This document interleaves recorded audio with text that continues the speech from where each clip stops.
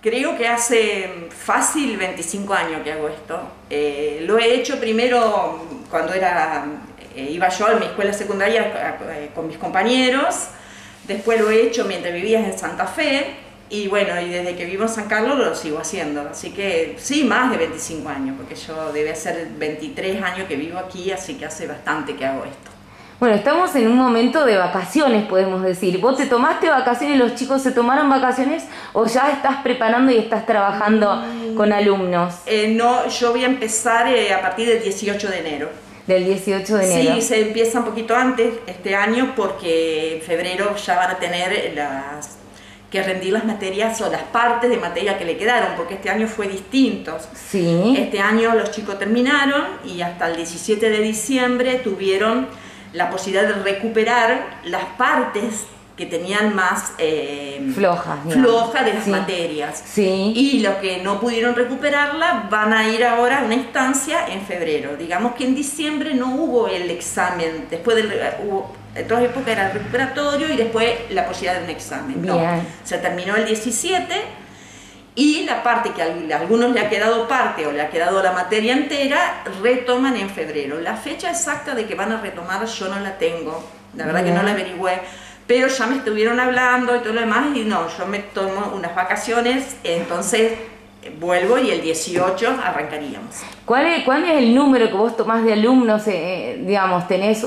tanta cantidad diaria? ¿Tenés alumnos de otros años que continúan con vos? ¿Cómo lo manejas a eso? Eh, yo por, durante el año, porque también tengo nivel primario, sí. durante el año tengo, sí, los chicos fijos con sus horarios, chicos del secundario que los padres eh, ya vienen ya también fijo dos horarios para orientarlos eh, y tengo eh, los chicos que ya el primer año por lo general es que ellos buscan dos veces por semana venir a completar carpeta al tema que no entendieron después al año siguiente ya se encuentran más organizados y vienen cuando no entienden el tema bien ¿Y mi promedio de alumnos en el día están más o menos habrá 10 chicos, yo los tengo a veces de a dos.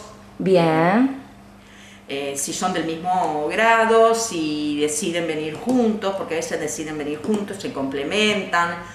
Eh, de a dos. Eh, aparte no se puede ahora más tampoco. Claro, por el tema del protocolo, ¿verdad? Por el tema del protocolo, más que dos no se pueden. A veces vienen más juntos porque yo por lo general si tienen que un examen, yo los preparo y después les preparo yo una prueba, cómo puede llegar a ser el examen, y ahí por ahí vienen más, entonces estamos más separados, con otras mesitas, y se ponen concentrados a hacer sus evaluaciones, digamos. Y también hablabas de la preparación para esos exámenes previos para ingresar a la facultad. Sí, el ingreso universitario este año eh, estuvieron rindiendo en noviembre, eh, y ahora seguramente en febrero eh, va a haber de nuevo, sí. Eh, que van a retomar o, por ahí alumnos que todavía no tuvieron. a ver, el ingreso universitario, las carreras, hay carreras que tienen tres materias. Entonces han hecho una o han hecho dos y ha quedado una. Claro. van haciendo así. Porque tienen la posibilidad, o sea, de hacerla en distintos periodos. Y te iba a preguntar, con respecto a, una evaluación o un análisis que puedas hacer de tus alumnos, hablamos del tiempo, pasa el tiempo, van cambiando las generaciones, pero ¿qué observas vos en esos alumnos que por ahí requieren esa atención personalizada? No es que no hay capacidad, sino que requieren esa atención particular de cada uno, ese aprendizaje más, más íntimo, podemos decir. ¿Se nota mucho eso o tiene que ver por ahí con las metodologías de enseñanza? ¿Qué crees que puede ser? Mm, me parece que hay mucha, a ver, primero falta de lectura y falta de compresión de texto, que eso lo consideramos como que si fuera de lengua. No, la compresión de texto la tenés en ciencias sociales, la compresión de texto la tenés también en matemática, en situaciones problemáticas. Eh, yo me río porque les digo, les cambio la coma de un problema y el problema cambia. Claro. Eh, el secundario, el problema de los chicos del secundario es el primer año, que es la organización de ellos. ¿Por qué? Porque ellos vienen de tener cuatro o cinco materias en la escuela primaria. Y vos pasás a una escuela secundaria donde se duplican las materias. Se duplican las actividades eh, dentro de una escuela secundaria. Entonces a ellos les cuesta organizarse a veces. Organizar la carpeta, la, fotocopia de, inglés la tienen en matemática, la de matemática, o sea, organizarse la carpeta, todo. El chico una vez que hace, arranca con organización de su material de estudio y de sus horarios, eh, ya a los años siguientes le va a ser más fácil. Y materias que cuesten a los chicos, eso pasa siempre.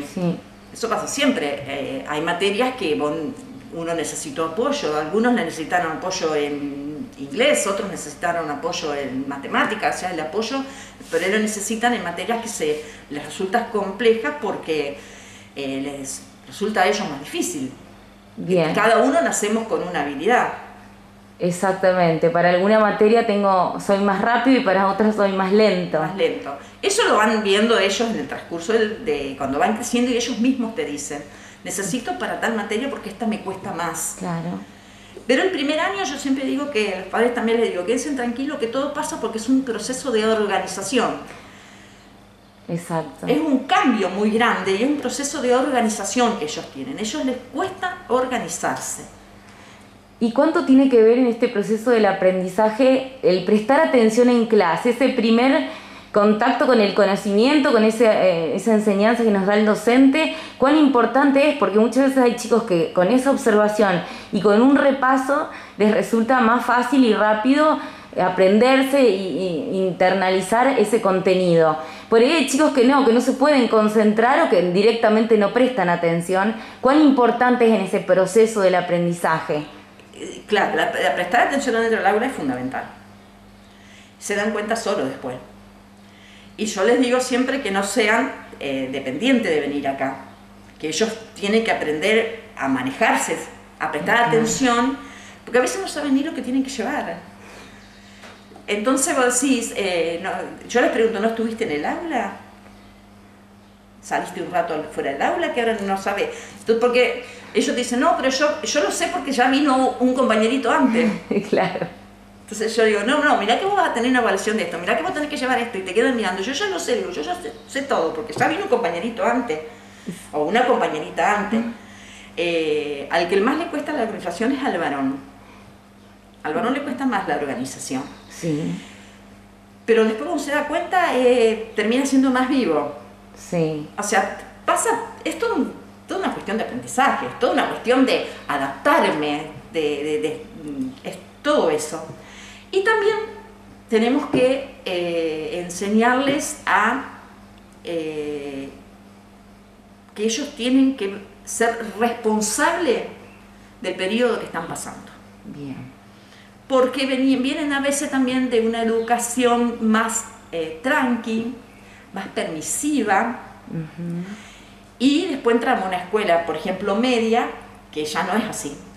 Y yo le digo, y la escuela terciaria o universitaria tampoco.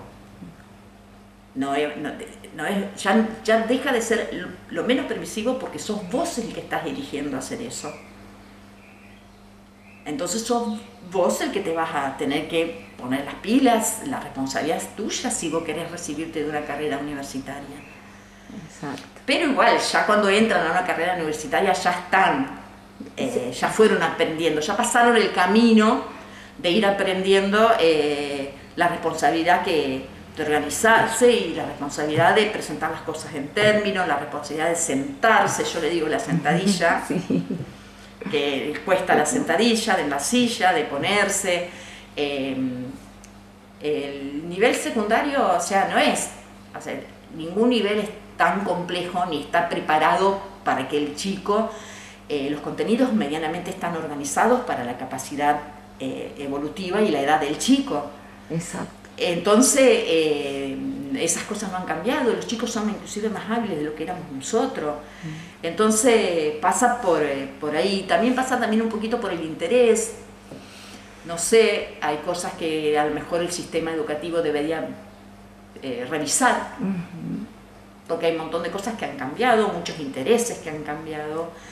Eh, también habría que revisar de llevar más eh, eh, que sea más, como te podría, atrapante la materia, que el docente no tiene la culpa, porque eh, por ahí decimos, el docente, no, ellos tienen una directiva y hay algo ministerial que se baja y si un programa a seguir. Y sí, Entonces, ellos no pueden hacer milagros. no se entiende. Y te- tuvimos un año y medio atípico. Muy difícil con la pandemia, los protocolos, Eh, la virtualidad. La virtualidad, que vos me decís que tan importante es prestar atención en clase. Si al chico le cuesta prestar atención en clase, imagínate una virtualidad. Sí, Realmente también eh, la virtualidad fue una cosa que yo digo que mm, perjudicó eh, al que terminaba, a todos los últimos años de los distintos niveles y afectó muchísimo a todos los primeros de los distintos niveles. Pues imagínate que el niño que entró en primer año en la escuela secundaria tuvo un séptimo virtual no. todo virtual. Que eh, aparte eh, psicológicamente y emocionalmente era su último año de escuela primaria. Sí. Pero bueno, eh, los chicos se van adaptando, ¿no es cierto?, a todas esas situaciones. Y aquellos que necesitan el apoyo cuentan con Rosana, que los puede ayudar y los puede guiar, y especialmente a los papás que la necesitamos.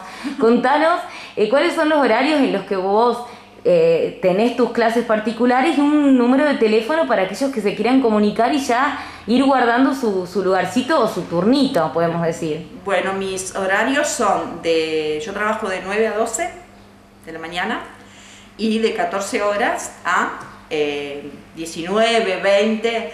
eh, trato de trabajar de lunes a eh, jueves y viernes solamente a la mañana, porque viernes a la tarde por ahí lo dejo para los chicos que están en Santa Fe, porque tengo chicos que ya ingresaron a la universidad, pero todavía Vienen. Sí, eh, una ayudita te dicen, y yo, no, yo ya llegué hasta el nivel de ingreso, le digo, bueno, eh, tengo que guardarme el viernes a la tarde por estos chicos porque están en Santa Fe y vienen. Claro, requieren su turno. Sí, mi teléfono, eh, mi celular es 155 33 787.